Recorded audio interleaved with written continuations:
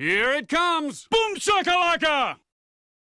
Bem-vindos a mais um vídeo aqui no Boom Chocalaca, vídeo excepcional em uma quarta-feira. Fazia tempo que não acontecia isso, hein?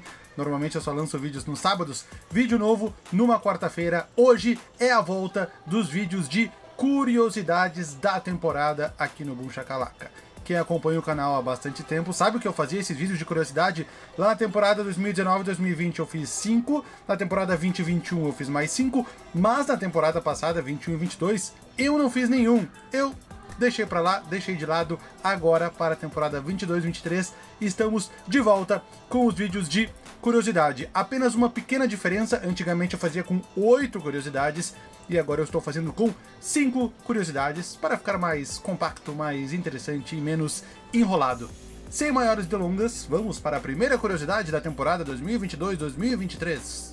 Curiosidade número 1, Greg Popovich sofreu a pior derrota de sua carreira. Apesar da campanha até acima das expectativas nesse início de temporada, na noite do dia 2 de novembro, jogando em casa, o San Antonio Spurs perdeu para o Toronto Raptors por 143 a 100, uma diferença de 43 pontos. Essa é a derrota pela maior margem de pontos desde que Greg Popovich assumiu o time na temporada 96-97. Nessa vitória esmagadora do time de Toronto, Pascal Siakam anotou um triple-double com 22 pontos, 10 rebotes e 11 assistências em apenas 28 minutos em quadra, enquanto o cestinho do time foi Gary Trent Jr. com 24 pontos. Pelos Spurs, Keita Bates Diop liderou a pontuação com apenas 17. A antiga pior derrota de Greg Popovich havia sido na sua temporada de técnico estreante. Em março de 97, os Spurs perderam para o Chicago Bulls de Michael Jordan por 111 a 69, 42 pontos de diferença. Aliás, Michael Jordan marcou apenas 16 pontos nesse jogo, nem precisou mais. Curiosidade número 2, Nikola Jokic se tornou o pivô com mais triplos duplos na história da NBA no dia 3 de novembro, em uma vitória fora de casa por 122 a 110 contra OKC, o pivô sérvio acabou o jogo com 15 pontos, 13 rebotes e 14 assistências, além de 10 turnovers, o que vamos ignorar por hora. Com isso, Jokic chegou a 79 triplos duplos na carreira, ultrapassando Will Chamberlain e seus 78 triple-doubles durante os anos 60 e 70. Aqui está a tabela com os 10 pivôs que mais conseguiram triple-doubles, e duas coisas chamam a atenção logo de cara. A primeira é que Jokic e Wilt estão anos-luz à frente dos demais pivôs da lista, a segunda é que Jokic conseguiu igualar o número de triple-doubles de Wilt, tendo jogado pouco mais da metade dos jogos. E caso alguém tenha achado estranho os jogos e triplos duplos do Domantas Sabonis, aqui estão apenas as vezes que ele foi listado como pivô. Jogando como ala de força, ele tem outros 9 triplos duplos, o que daria para ele o quarto lugar dessa lista somando tudo.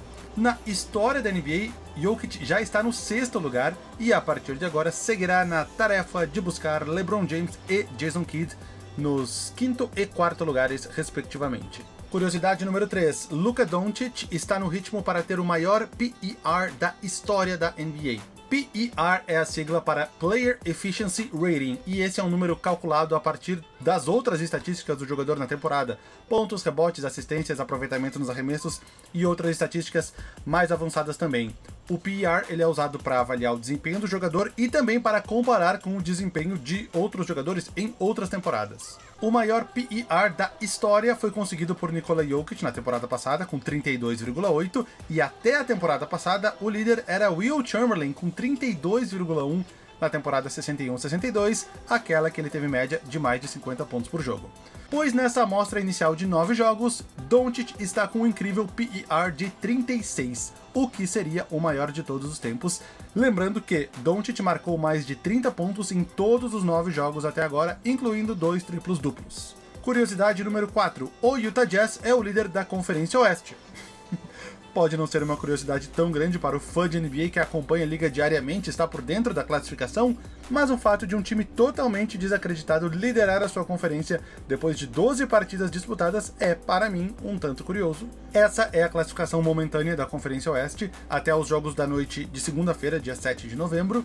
O Jazz vem com um aproveitamento incrível de 75%, vencendo 9 das 12 partidas até o momento, incluindo vitórias sobre Nuggets, Wolves Pelicans, duas contra os Grizzlies e Los Angeles Clippers. O último ponto curioso disso é que o over-under do Utah Jazz nas casas de apostas antes da temporada começar, eram 23,5 vitórias. Seguindo nesse ritmo que o time está vencendo, ele alcançaria essas 24 vitórias ainda na primeira semana de dezembro, com cerca de 50 jogos restantes ainda na temporada. Bom para quem apostou over, ruim para quem apostou under. Curiosidade número 5. O Denver Nuggets tem 7 jogadores com mais de 10 pontos por jogo. Tudo começa com o Nikola Jokic e seus 20,9 pontos por jogo. Bem abaixo dos 27,1 da temporada passada, sim, mas não menos produtivo.